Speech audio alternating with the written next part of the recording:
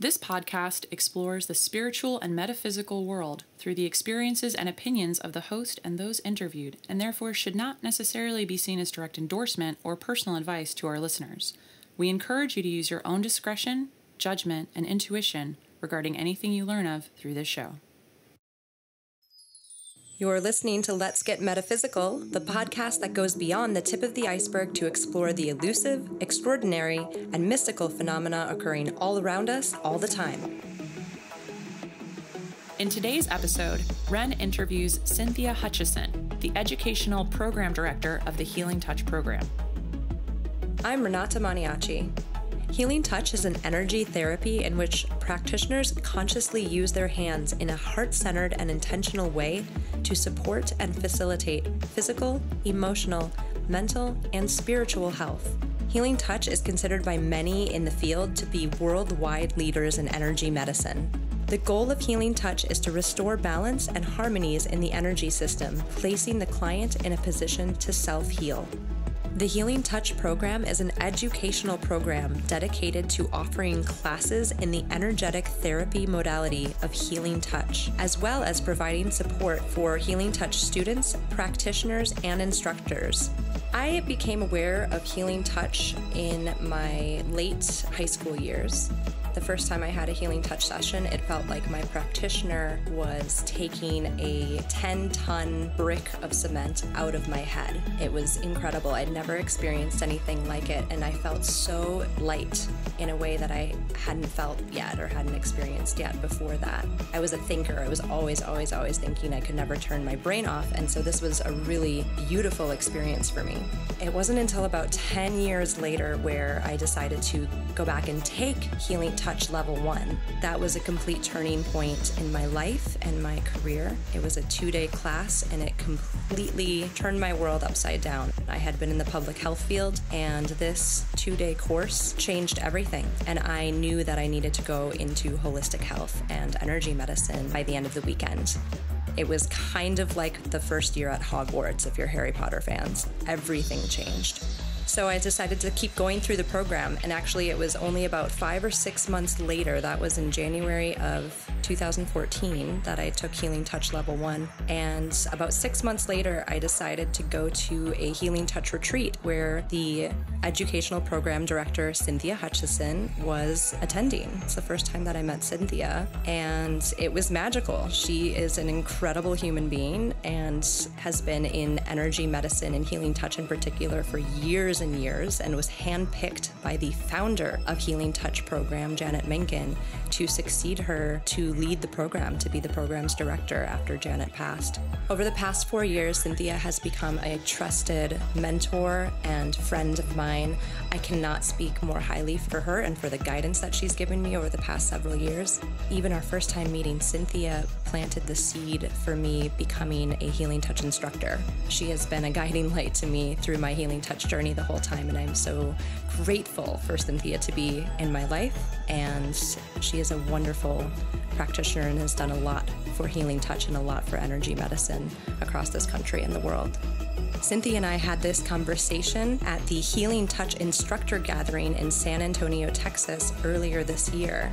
She has incredible wisdom and insight and amazing stories about healing touch, and I'm so excited to share them with you. I should note that there were some minor technical and sound issues during the on location recording for the interviews, so please bear with anything that sounds slightly rough. Are you ready? Then let's get meta. Welcome, Cynthia. Hello, Renata and friends. It's really sweet to be here with you. Thank you. Of course. Thank you so much for talking to me. Cynthia, I always ask my my guests um, if they would like to share an experience that they consider being a metaphysical experience um, in their life that can have to do with healing touch and energy medicine, or it can have to do with anything else. So I recall a time back, probably 18 years ago, when I was at a Healing Touch conference, and in the afternoon I became very tired in a very unusual way. So I came up to my room to just rest.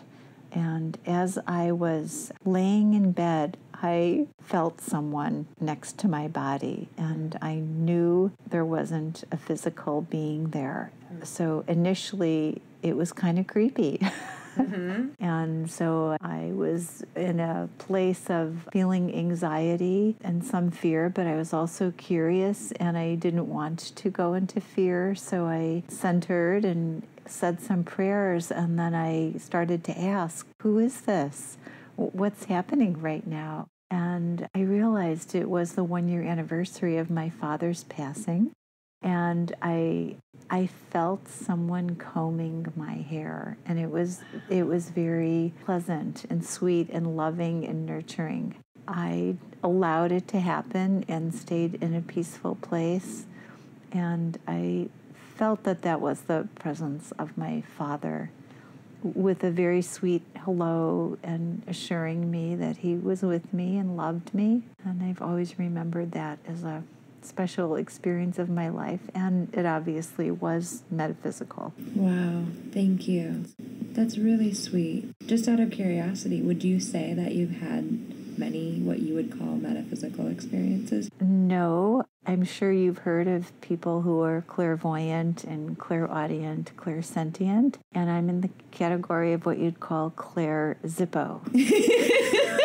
For those of you who don't know, clairaudient, clairsentient, and clairvoyant. Clairvoyant means literally clear seeing, so you can see on a level that most people can't. Clairaudient, you can hear on a level that most people can't. Clairsentient, you can feel on a level that most people can't. Just for those in the audience who might not know what those yeah, are. it's beyond the five senses. Exactly. And into extra sensory perception. And people have found it curious that I've been in this position of being the educational program director since 2003 when most of the time I really don't sense kinesthetically with my hands the, the energy field or the centers as I would say the vast majority of our students and practitioners do.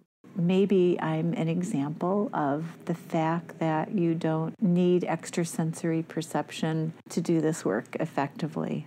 And it's comforting to those students and practitioners who don't yet experience extrasensory perception or who don't have that as a regular experience, maybe on off or irregularly or occasionally. Absolutely. Yeah. I really I'm tickled by Claire Zippo. yes, that's me. That's amazing. So when you're working on people, because I know you to be somebody who sees clients and who teaches, do you just know where to go? I really trust the work. I did know Janet Mentgen personally, who's the founder of our program, and she brought this work in a way that it was an avenue into Western healthcare. So, because she brought it as a standardized program through the field of nursing with various procedures and sequences and weaving in nursing theory as well as energy medicine concepts and theories. So that's a great segue, Cynthia. What was your introduction into the healing touch world? I had already been a practitioner of therapeutic touch. Which another energy medicine modality. Yes, therapeutic touch was probably the first form of hands on energy medicine that had somewhat of a scientific basis, also rooted in nursing. And the founder of Therapeutic Touch is Dolores Krieger. I studied with Dolores Krieger on a few occasions, and that was my first energy medicine modality for 10 years, starting in 1982. I had an affinity to this work but when I took my first healing touch class in 1992, then that was really love at first touch mm. for me. That I knew that it was my match, mm-hmm. my vocational life. Mm-hmm. Before it was interesting and I was intrigued and I was practicing, but there was something about the Healing Touch program. So I just believe that I have a destiny. And when I met Janet Mentgen and this program, it was just clearly an energetic and heart match. So, despite being clear Zippo, you were still nevertheless attracted to therapeutic touch and then later healing touch. Yes, as energy medicine modality. Yeah, for for me, what was interesting was that for the first few years as a therapeutic touch practitioner, I never felt anything kinesthetically. But what kept me going was that when I would work with people, they would have a response. They would feel better. Mm. They would have a relaxation response. Mm-hmm. They would have an insight. They would have a, a deep inner experience spiritually. Mm-hmm or just anywhere from a mild to a moderate to a more dramatic healing response. So I knew something was happening, okay. but it wasn't anything I could perceive. That answers my question. That's what kept you going. You were getting feedback from the people that you were working on, so you knew that something was happening. Yes this thing that you're doing with your hands that's affecting another person such that they are having an experience that is healing or in some other way for them and and they know that something is happening or they feel that something yes. is happening and maybe this story might be of interest to you when I started working with Janet Mentgen in the early to mid 90s, I offered my background as a nurse researcher to suggest that we develop a position for me to head up a research department for Healing Touch program. Because I said to Janet, hey, if we want credibility in the world of healthcare, and in nursing as a, a, viable, credible energy medicine program, we should have a department of research and we should be publishing things and educating ourselves more in the scientific realm. So she took me on, and I did serve as the director of our research department for several years. The first director, it sounds like. Yes, yeah. And so what happened is at the very beginning, I set an intention that over the years, I was going to understand the scientific basis of energy medicine and, in particular, healing touch. But despite numerous interviews with scientists and researchers and doing lots of reading of studies, etc., I felt that after five years I knew less rather than more because what happened is as the pieces of the puzzle started to come together a little bit here and a little bit there, the puzzle just kept getting bigger and bigger and bigger. And what happens, I think, for many of us is we become very humble the more we do the work because it's such a beautiful, magnificent, awe inspiring mystery of life, the whole healing process. And yet, Spirit does teach us and allow us to see some of the connections and how things work. Mm-hmm. But my conclusion was, after all those several years, was okay, maybe we don't know the mechanism of how it works, but we do know that something is happening and for most people, that's all they really need. Absolutely. Yeah. That is so important to me because when I started my Healing Touch journey, I came to Healing Touch because I started in a different modality that could not answer the scientific questions that I so desperately needed at that moment in my life. And actually, Healing Touch could, my teacher could, Nancy Lester could explain to me kind of how it worked in a way that I understood it in terms of physics and science, and that's what I needed at that moment. But I love that story that you just said because the deeper I go into healing touch and the energetic realms, the less that I need to know how it works in terms of what earth people call science and yeah. physics because I've realized that it doesn't need to be scientifically proven to be true. And of course, we love science. I have yeah. a deep appreciation for it, and that was my original training. But the hardcore Western way of doing science is so very limited because it's only a piece of the pie. Mm-hmm. And they pretty much only look at the visible world and maybe a little bit into the invisible world, such as electromagnetics. But the more I've done this work, the more I know that the invisible world is more real than the visible world. And I'm just more comfortable there because after it's been 30 years now, it's very real to me and I, I don't question it. And I've learned how to trust my intuition more, and I don't need to have the clairs to know that somehow if I hold sacred space for another person and if I could hold positive, loving intentionality with my thoughts, with my thinking, if I can hold my heart in a compassionate, loving place, and if I'm willing to use my hands to serve another person, to support his or her healing process, then I trust something is happening, whether it be evident in a dramatic way, in a subtle way, in an immediate way, or in a long term way. Because sometimes we don't see anything happening in the moment, and it may be minutes, hours, days or perhaps longer for the person to even have a realization, if there is a realization, that something has shifted. Right. And I'm comfortable with that now. I love that you brought up the invisible world because I mentioned this on this podcast a lot is that what we experience every day is the tip of the iceberg. That's all we see, but that there's this vast expanse underneath that nobody sees but is no less real and is no less affecting us in this world. So I'm happy that you brought up the invisible because it's all around us, and that's really what we're digging into here. Yes. And speaking of that, that brings up the topic of spirituality, right? And faith. And what do people believe about higher power and creation? And where did we come from? And why are we here? And what's our purpose? What's it all about?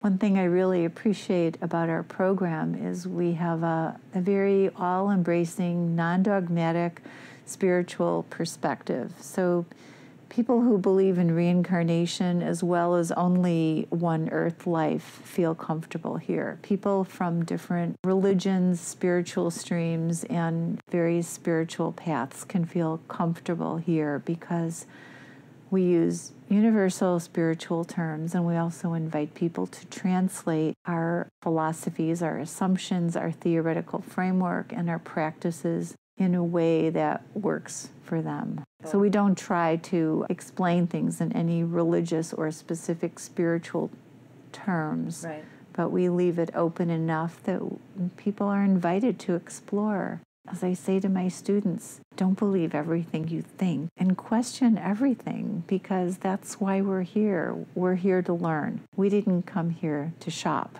Yeah. Right? Often we think that the thoughts we have or that we were raised with or enculturated with are the truth because that's all we know. But it's not until we question those things and start to explore other options and ways of being that we really can expand our consciousness and discover more of the true nature of creation in the world and why we're here and mm-hmm. where we came from and all those other lovely cosmic questions. Absolutely. And I know when I walked in my first Healing Touch Level 1 class almost four years ago to the weekends, a couple weekends ago, after a couple hours, it just felt like I was exactly where I belonged. And it felt like I was remembering this stuff and not actually learning it. And so that Oh. deep resonance of something in my being that I did not know how to explain, but every single bell was dinging and alarm was going off. Like, this is exactly where I needed to be at that moment. And I am a non religious person, um, though I do consider myself quite spiritual. It is a very appealing program and practice and value system and way of life Mm-hmm. that I'm so very pleased to be a part of. I love that you use the word remember because that is a a very important concept that indeed in our spiritual essence that we come to earth to earth school to remember who we are and our divinity and our spiritual essence. And our soul agrees to forget so that we can remember out of our own freedom and, and free will and out of our individuality I believe that our Creator has given us this free will, and we have the choice to evolve more quickly or more slowly. And of course, we both know people, and including ourselves. Hopefully, we're looking at our own lives too, of those who are really striving to align their thinking, feeling, and willing with truth, beauty, and goodness. This is the perennial wisdom that Aldous Huxley talked about in the 1940s, that is really the basis of all the great spiritual streams and wisdom teachings and, and religious streams we're all aware of people who seem to be on a much slower path and they are not aligned with truth beauty and goodness, but they're given that freedom to evolve at a slower pace if that's what they're choosing. I just experience Healing Touch program as something that I'll forever be grateful for because of the remembering that it allowed me. And I don't know ever how to explain that to people because when you walk into something that you have actually never done before on this earth plane and you feel like you are remembering how to do it, not like you're learning how to do it, that feeling was so deep and unexplainable, and it's something that you never forget.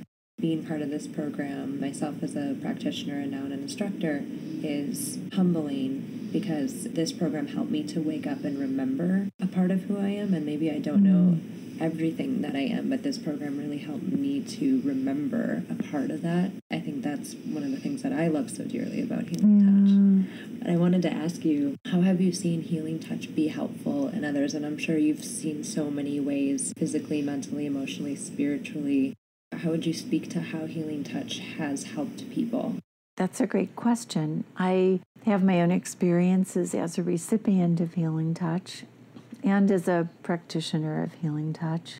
But because I've been an instructor for so many years, I've heard many other stories through students and other instructors. So I'm aware of a, a, whole plethora, a whole range and continuum of people who've responded gradually versus dramatically, physically, emotionally, mentally, spiritually. There really are no limits and perhaps it's just a matter of how open is the recipient? Is the divine timing right? And is the practitioner really able to hold sacred space so that a person can self heal? So, those are the essential ingredients that I think of. I don't think we can ever force any healing or make anything happen. And in fact, I don't refer to myself as a healer. I'm fine if other people do, but personally, I just think of myself as a facilitator or even a helper elf, a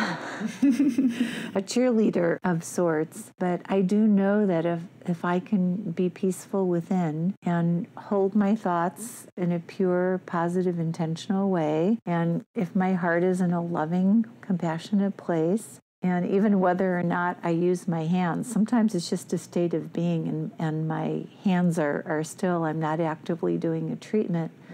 I can see people responding because anytime we're in the vibration of love and holding sacred space, people can tune into that and resonate with it. And those who are striving to be in a higher vibrational state can entrain to that and they will start to feel better. They'll start to notice feeling better in body, mind, and spirit because someone is holding that vibration for them and it makes it easier for them to tune into that, so to speak. And we all help each other in that way. And it's not just through healing touch. When we sit with a friend, someone who loves us, or an animal companion, and we feel safe and we feel love, and there's positive emotion flowing, that's high vibration and that's healing. When we go outside to be in nature and we're inspired by beauty or just connecting our body to Mother Earth and we start to resonate with the vibrational frequency of, of the life force and abundance of Earth. This is very healing as well. Listening to music that inspires us or dancing in a joyful way, moving our bodies so that we're expressing ourselves physically. This is very healing too. There's so many forms of right. healing. A healing touch is one of the ways. And healing touch is one way in the whole field of energy medicine because there are, are many modalities in the field of energy medicine. What I love about healing touch is that we are a credible source. Um, as you know, we were the only educational and practitioner program to hold not only one, but two national accreditations mm-hmm. one in nursing and one in healthcare. We have a, a long history. We're time tested. We've been around going on 30 years. We're an evidence based program. There have been more than 100 studies that have been done that seem to show support in a number of ways that something is happening to support the healing process. And we've earned the respect of the Veterans Administration system, who now calls us in for, for classes and for treatments and for creation of clinics We've been funded by a number of universities and the National Institutes of Health for some studies. More and more academic institutions, as well as other healthcare facilities, are showing interest in energy medicine and, and mm-hmm. healing touch specifically because they see it's a natural, non invasive, effective, affordable, gentle, time tested method of supporting clients and their patients and their families mm-hmm. for body, mind, spirit healing and self healing. So we can learn this work and treat ourselves. Absolutely. Healing Touch was started by a nurse, Janet Mentgen, and there is Healing Touch in so many hospitals now because so many of our practitioners are nurses and bring that into the hospital space with um, their their patients. I'm glad that you mentioned Healing Touch as one of many energetic healing modalities. A mentor that I have once described healing as a huge tree, and that all the different branches are many. The different ways of healing are many, as many as there are in a very large tree. And the energy medicine branch branches out into yet smaller branches, one of which is Healing Touch, and others of which exist. That could be polarity therapy and zero balancing and Reiki um, but that you can try all of these different branches, so to speak, and then keep going. I think people in our country and in the world a lot of the time get stuck on the Western medicine branch and they don't realize how many other branches there are that are involved in healing. That's one branch of a very large healing tree. Yeah. It's also so empowering to people. And I think that's part of our whole healing process is to take responsibility for our healing. And these days, we have so many choices. And for some people, actually, having choices is hard because sometimes people just want to be told what to do, or they just want to be fixed, or they mm-hmm. want to go to someone and, and be healed. I think we're at a stage of evolution of consciousness where spirit is saying, Know thyself, mm-hmm. take responsibility, tune in to who you really are in your spirit essence, listen to the message, and choose one or more modalities that you resonate with. There are so many other ways of healing, even beyond energy medicine, you know, such as just healthy lifestyle and nutrition and fresh air and sunshine and pure water and did I say exercise? no, but that's important. Yes. Smiling. Smiling. Time with friends. Good friends, yes. Good sleep. Intention over technique is one of our concepts. We have about 30 major concepts and principles that are part of the, the teachings and assumptions and theoretical framework in Healing Touch program one thing I really appreciate about our program is this concept of intention over technique because it means that you can technically mess up on how you place your hands, where you place your hands, the order you place your hands. You can not do the prototypical order or treatment as taught and still have an effective treatment because we do believe that really the most important thing is the focused, positive, intentional thought, the compassionate heart, and the willing hands. Now, obviously, there's a value in following a standardized program and learning how to apply these the 30 methods that we teach in a specific way or um, within the options that, that are recommended because we are a nationally accredited program, and what that means is that the healthcare facilities, um, the public, the accrediting bodies can have confidence that healing touch practitioners meet a certain standard of care, that right. they have a certain education, they have a code of behavior, we have our code of ethics, our scope of practice.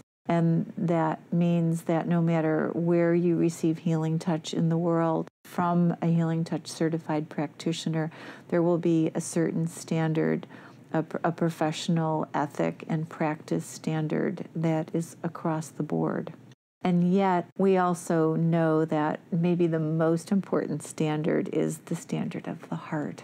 Stay in your heart, create safe space for another person, learn how to hold sacred space or the vibration of love or positive energy, whatever phrase or word you're most comfortable with. And follow the energy, follow your guidance. Don't let your ego get in the way. Stay in a very humble place knowing that the energy is moving through you, not from you. We're not giving away our own energy. We're plugged into source energy, which is benevolent, abundant, and creative. As we learn how to do that through our practitioner preparation, which is a process of centering, grounding, and attuning, and holding intention for another person, then a response will be seen most likely. I love that you brought up intention over technique. For me, it just kind of gets at one of the cores of this podcast, which is the intersection of science and spirituality, or the intersection of science and magic, you might say. So, like, the science is the technique. You know, we have a technique and it works.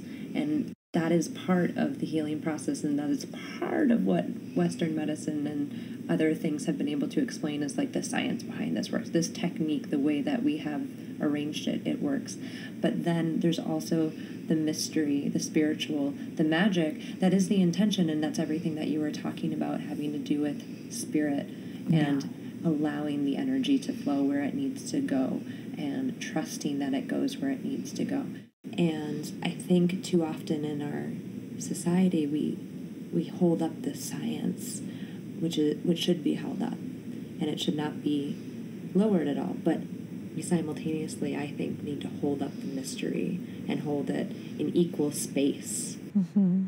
And I think that's you know with intention over technique and healing touch, it really allows that space for the intention to hold that mystery, that spirituality, that magic mm-hmm. that is no less real yeah. than the science and then the technique part. Yeah.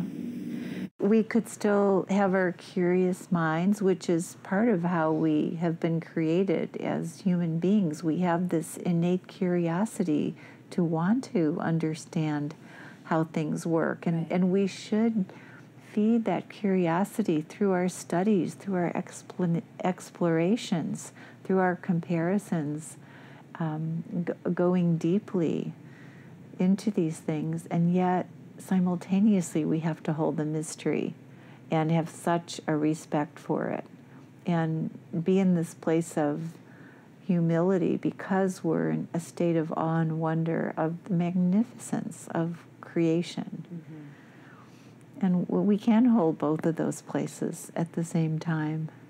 I think that's um, a beautiful aspect of humanity when we can hold both of those places.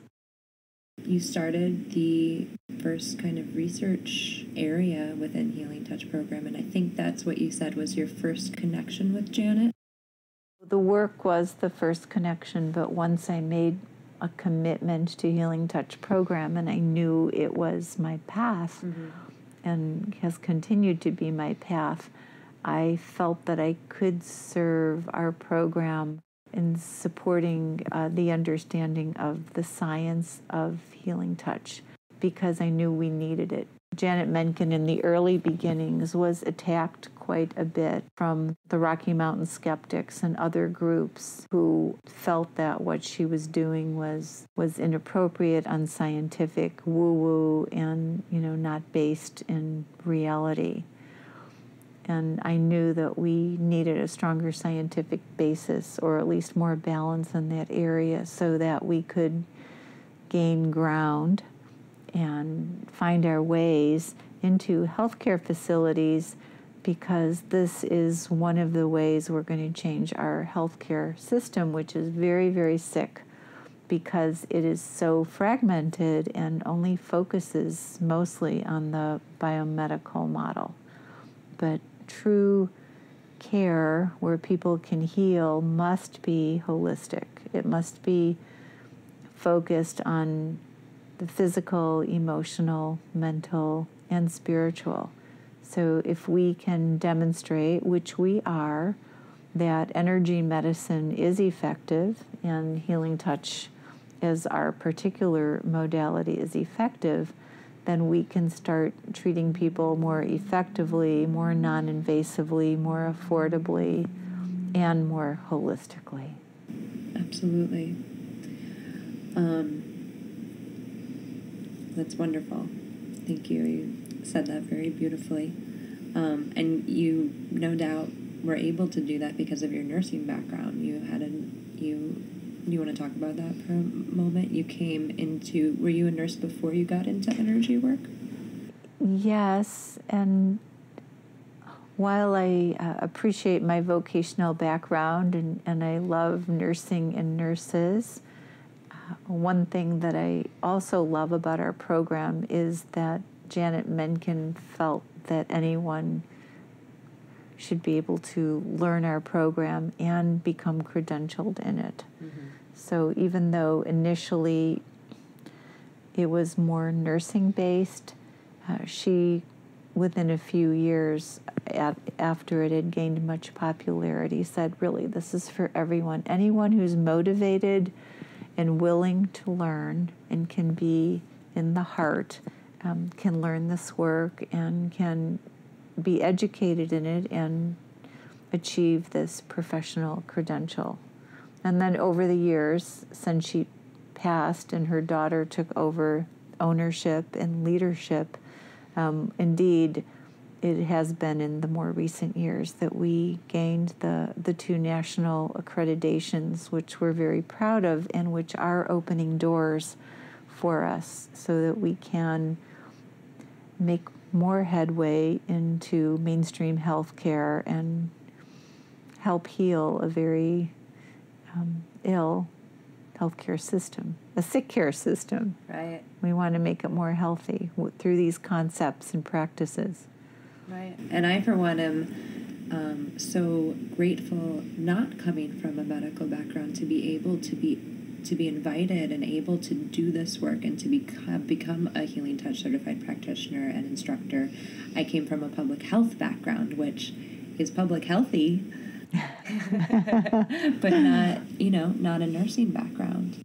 So it's wonderful that it is open to anyone who feels the call or feels the need to explore this type yes. of healing for themselves, yeah. for them, their families, for their yeah. friends or to become a practitioner and serve the community at large. Yeah. Yeah. Before we were talking about how healing touch could help folks and I just I just wanted to share some of my experiences with clients and myself really quickly about that. On a physical level, I've seen I've used healing touch on myself just to take pain away. If I knock my knee on something or if I have allergies, you know, to use some of our techniques to clear out congestion and stuff so it can be used on a physical level.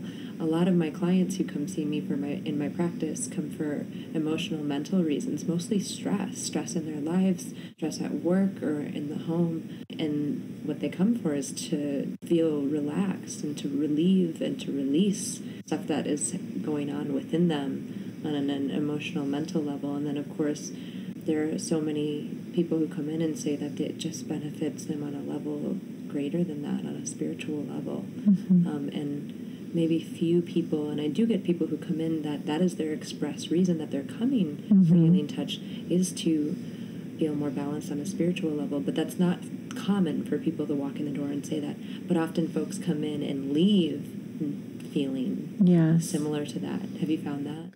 Yeah, it, as a matter of fact, my favorite clinical story is uh, a man who came to me years ago who wanted to quit smoking. And I supported that goal. I thought that was a great idea. I didn't make any promises, but I said, well, let's see what could happen. And during our intake interview, the first session, I found out that he was atheist which actually is pretty unusual for someone to come to a healing touch session because most people at least have some sense um, of higher power or belief in that. But he was a very loving father. He seemed happily married. He was a successful salesman. And I applied the first treatment, and afterward, he didn't want to process anything with me. He stayed quite quiet and he said, I'm, I'm just going to go driving for a while. Um, thank you. Mm-hmm. and I wasn't quite sure what his response was. Mm-hmm. Um, this basically happened four weeks in a row where he came for treatments. I did the work. He didn't want to process it, and but he would reschedule. So finally, at the fourth week, he said, "Cynthia, how did you do that?" And I said, "What?" And he said, Well, you messed with my brain chemicals in such a way that it felt like a spiritual experience, but I know there is no such thing. So, like, mm-hmm. how did you do that? Mm-hmm. And I chuckled a bit and I said, I, I don't really know, Mel, but um, let's just see what unfolds. If you're interested, we could keep working together. So, the next session, he looked at me and he said, All right, I have two things to tell you. One is that I called my father up. And the interesting thing was, he hadn't talked to his father in 10 years. And they had a healing conversation and they were back in relationship. And he said, The other thing is, I now believe that there is such a thing as higher power. And then I had one more session with him before I moved out of the Washington, D.C. area to Boulder, Colorado. But I saw him a year later when I was in town and he came to visit me and he shared an update about his life. And then he said eh, he was meditating at this point, receiving occasional healing touch from a different practitioner. And then he said, Oh, and by the way, I'm still smoking. so it didn't yeah. stop his smoking. Right. So we, we had a good laugh about it because we didn't achieve the goal that he originally came right. for. But in fact, he agreed that what he received instead was something much more worthwhile to him, mm-hmm. which was a relationship with Creator in a relationship with his father. So we wow. acknowledged healing happened at a different level, right. which is kind of another tenet in Healing Touch program is we cannot direct the energy. It's going to go wherever it's needed. Mm-hmm. So even though you or I might hold in a specific intention for healing based on the client's request and the perceived need, that in fact the energy might go at a different level of being. Right. And we trust that there, the energy has its own intelligence, and the person at an unconscious or subconscious level is going to receive that energy where it's most needed. Mm-hmm. I see that a lot in my practice. People come in and they think, you know, these are the things on my mind, this, this, and this, you know? And what happens is the energy just goes right to the root. Oh, the, yeah. You know, some of the things that they mentioned might be the symptoms, but the energy just goes right to the root source or whatever is going on underneath all of that. And that it helps to release everything else so that they're feeling better about whatever they came in for. Yeah. But it might not look exactly like oh we just addressed this one issue that you came with. Yeah. It spreads to different yeah. areas. I see that in my in my practice that's in washington d.c yeah. It's another one of our concepts and principles is we may hold an intention, but we can't be attached to it. Right. And it's a great way to keep our egos out of it as well, mm-hmm. because we have to remember it's not us that's creating the healing, it's our ability to hold sacred space and our client's ability to feel safe, to let go, to release that which no longer serves and to embrace a higher vibrational where higher vibration where healing could happen there I, I actually do get a fair amount of people in, coming into my practice who maybe don't describe themselves as atheists, but they have no spiritual practice or affiliation or religious practice or affiliation, but they're they're there. They found themselves there, you know. So they're open enough on some level um, to just to just see see where it takes them, or something brought them in there. Yeah. Yeah. How are you working with Healing Touch currently? We talked about your role as educational program director for Healing Touch program. Um, how is Healing Touch in your life right now? I would say I wear three hats right now. One is as the educational program director, so I oversee our approximately 150 instructors who teach around the world, mostly in about 10 countries, but primarily in the United States. And I have helped to um, write or revise or update our curriculum which the core curriculum is in five different levels.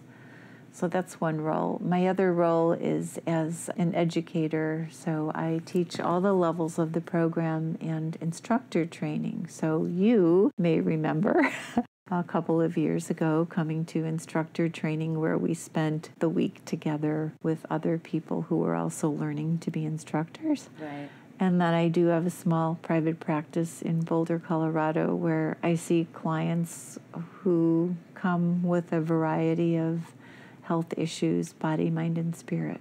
There are five levels of Healing Touch program, and Cynthia teaches all five of them. And level six, which is for instructors. Once you've become yes. a Healing Touch certified practitioner, then you can take level six yes. to become an instructor for the Healing Touch program at level one. Yes. And move on from there. That's a lot of hats, Cynthia. You, you have quite a few hats too. we like hats. Hats are fun. They're they give us a nice variety of expanding ourselves and being creative and finding different aspects of who we are and how we are in the world. And because we have so many instructors, people could travel all over the country and find a level one class in, in most big cities mm-hmm. and in some of the smaller areas as well. And then uh, we also have quite a few level two instructors, um, a modest amount of level three, and then enough level fours and fives. So people who are interested can usually find a class pretty easily without traveling too far, at least for the level one. Mm-hmm. So, Cynthia, if people wanted to find you, if people in Boulder were listening and were interested in your practice, how would they find you? Well, I think I would just give you my website, which is boulderhealingtouch.com. Excellent. And if you are not in the Boulder area and looking for Healing Touch, you can look at healingtouchprogram.com. Yes. It's the national program and you can look up an instructor that is in your area or a class that's being taught in your area. Or practitioners if you would just like to experience a treatment from a certified practitioner. We also have clinics and practice groups where many of the apprentices or students practice and have opportunities to develop themselves as a practitioner.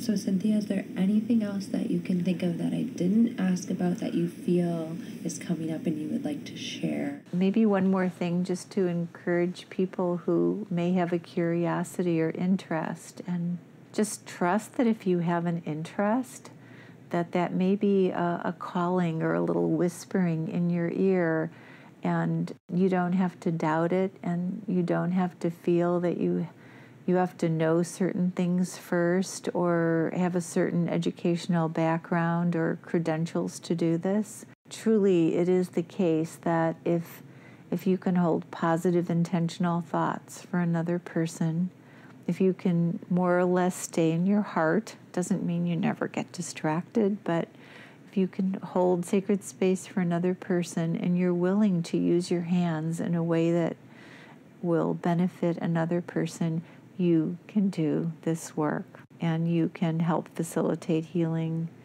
in others. Lastly, that this work can be applied for your own self care. It's a wonderful self care method, and sometimes people just study healing touch first to become more healthy for themselves, and then they expand that to working with family, friends, community, colleagues. And then sometimes people get inspired to get on the professional track and become a certified practitioner. There's lots of possibilities, but we hope that one day Janet's vision will be fulfilled. And that would be healing touch in every home, every healthcare facility, and every school. Thank you so much for sharing your time. You are a busy human, busy person, and you've shared all this time with us. I so appreciate you. Renata, I admire you and I honor you, and I've so enjoyed um, knowing you the last several years and watching you evolve in your path as a student, as a practitioner, now as an instructor, a member of the board of the foundation, and a, as a member of the Healing Touch Program Ethics Committee. Thank you. Thank you. Love you. I love you too. Thank you. We hope you enjoyed this episode. You can find more information about Cynthia Hutchison at boulderhealingtouch.com and the Healing Touch program at healingtouchprogram.com. In our next episode, Ren travels to speak with Julia Malone, an Iboga plant medicine provider who lives and works in Arenal, Costa Rica. Let's Get Metaphysical is entirely listener supported, so if you like what we're doing, please consider becoming a supporter on Patreon. Let's Get Meta is a production of the Hana Healing Arts Network. The show's host is Renata Maniaci. Audio editing and production by Zoe Ravenwood of Hatfish Digital Media. The voice of the credits is me, Aries. This week's music is Starlight by Psychedelic Pedestrian. Thanks for listening.